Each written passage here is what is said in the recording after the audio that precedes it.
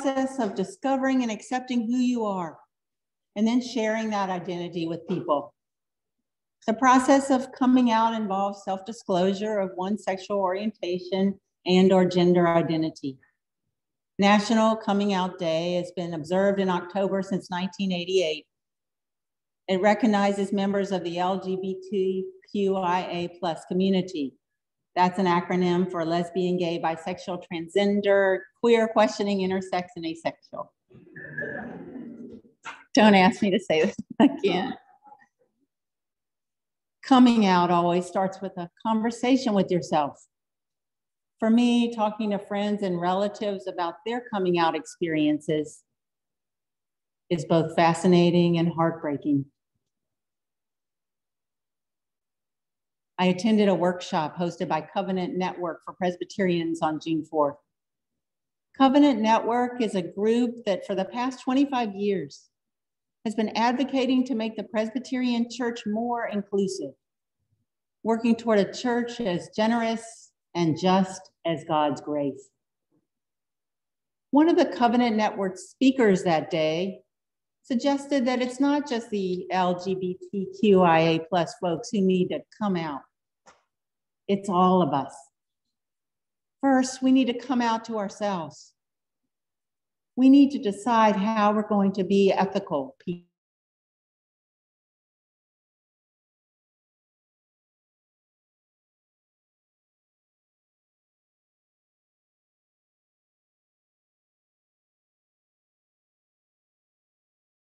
Since coming out always starts with a conversation with yourself, I thought I'd let you in on a conversation that I needed to have with myself a while back.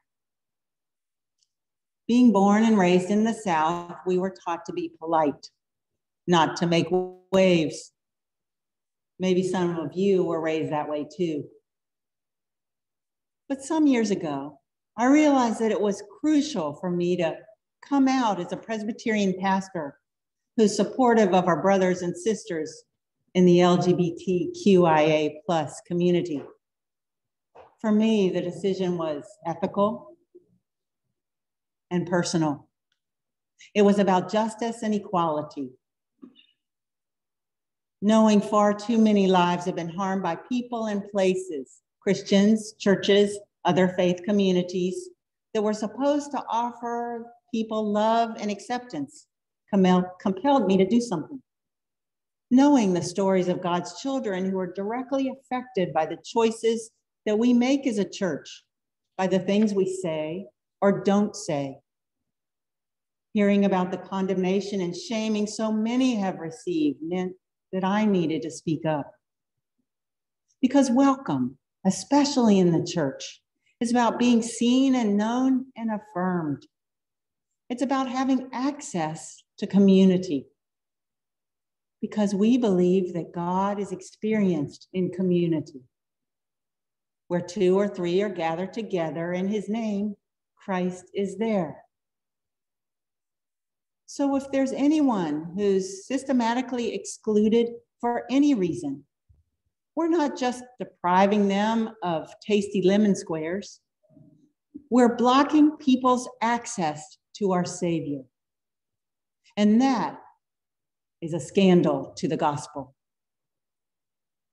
Church has to be a place where people can meet God a safe place where people can say, This is where I feel I belong, where people are truly and fully loving, like God is.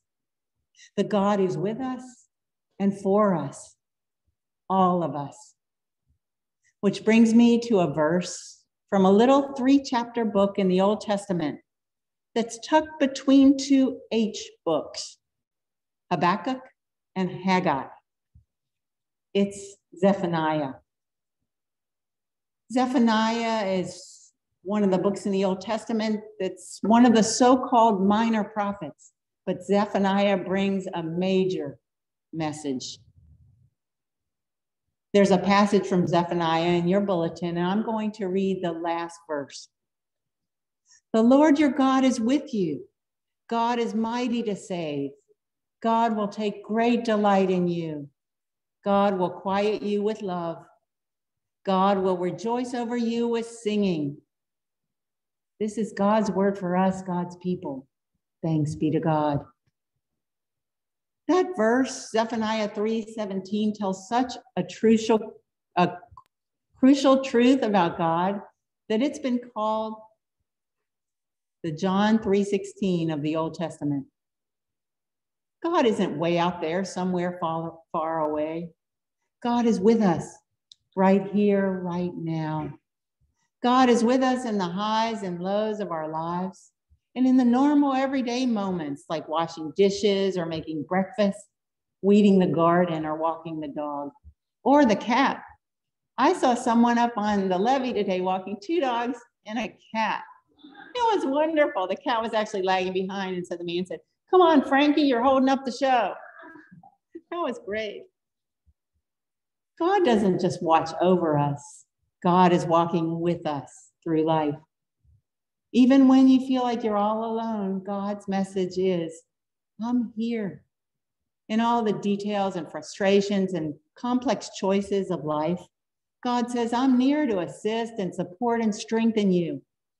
I'm going to be with you no matter what. Zephaniah says, believe that. Believe that God is with us, around us, beside us, delighting in us, present with us in every moment.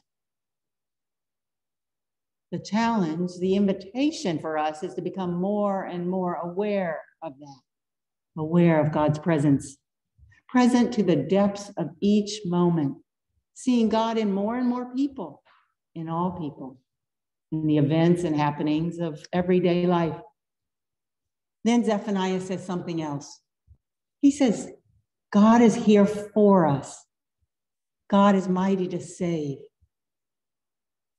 What in your life needs to be saved? What relationship?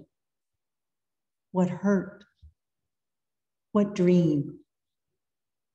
Psalm 34 says that God is near to the brokenhearted, that God saves those who are crushed in spirit even when life gets really hard or when we mess up big time, God is for us. For too long, too many people, especially those in the LGBTQIA plus community, have been told that God is ticked off at them because of who they are or what they've done. God has a perpetual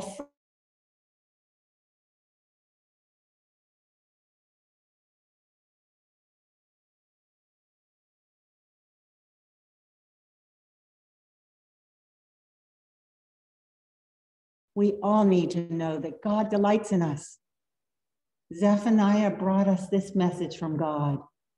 God will take great delight in you. God will rejoice over you with singing. May our hearts know about the God who delights in us, the God who is with us and for us, for all of us. We know we're not there yet. Not all Christians see it that way which means that we need to get educated by studying scripture together to equip ourselves to have conversations with those whose exclusionary take on scripture harms those in the LGBTQIA plus community and their families, harms all of us. So, in the months to come, we're going to offer opportunities to study together, to talk about how for hundreds of years the Bible has been used inappropriately to oppress people. Those holding to an exclusionary interpretation of the Bible point to six, at most eight passages in Scripture which refer to same sex behavior out of 31,000 verses in the Bible, six or eight to 31,000. Together, those six to eight verses cover a maximum of 12 pages in the Bible. And none of these texts is about Jesus, nor do they include any of his words. That's why we're called to remain open to the Holy Spirit, teaching us through Scripture, calling the church to be fully inclusive of all God's children. That's why in 2018, the General Assembly of the Presbyterian Church USA voted to affirm its commitment to the full welcome, acceptance, and inclusion of transgender people, people who identify as gender non-binary, and people of all gender identities within the full life of the church and the world. It went further to lament the ways that policies and actions of the Presbyterian Church have caused gifted and faithful LGBTQIA plus Christians to leave the Presbyterian Church so that they could find a more welcoming place to serve as they've been gifted and called by God's Spirit. That's not just a Presbyterian thing, it's an American thing. For in 2010, President Barack Obama designated June as LGBT Pride Month in the US. I quote, this month, as we recognize the immeasurable contributions of LGBT Americans, we renew our commitment to the struggle for equal rights for LGBT Americans and to ending prejudice and injustice wherever it exists. And last month, on May 31st, President Joe Biden issued a follow up presidential proclamation on Pride Month. His proclamation included this message This month, we honor the resilience of LGBTQIA people who are fighting to live authentically and freely. We affirm our belief that LGBTQIA rights are human rights, and we recommit to delivering protection, safety, and equality to LGBTQIA plus families so everyone can realize the full promise of America. I call upon the people of the United States, President Biden said, to recognize the achievements of the LGBTQIA plus community, to celebrate the great diversity of the American people, and to wave their flags of pride high. If you came to church through the front door today, you saw a rainbow pride flag hanging on the front fence post of the church. Thanks to William for engineering a way to hang it up there. In 1978, artist Gilbert Baker was commissioned by San Francisco City Supervisor Harvey Milk, one of the first openly gay elected officials in the US to make a flag for the city's upcoming Pride celebrations. Baker, a prominent gay rights activist, gave a nod to the stripes on the American flag, but he also drew inspiration from the rainbow to reflect the many groups within the gay community. And as a struggling drag performer who was accustomed to creating his own garments, he was well equipped to sew the soon to be iconic symbol. I love that story. The rainbow flag blowing in the breeze at the entry gate to Parkview Church today isn't just a colorful declaration. It's a symbol of solidarity. It says that Parkview stands with the LGBTQIA plus community what might have happened if more Americans had hung signs or marched with banners in support of Japanese Americans in 1942 when President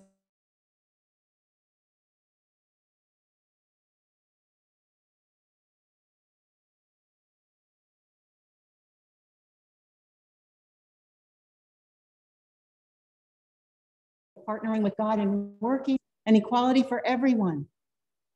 God's Spirit is calling us to come out, to venture out, to be visible and vocal about this inclusive thing that God is doing with real people who have a real commitment to following Jesus Christ.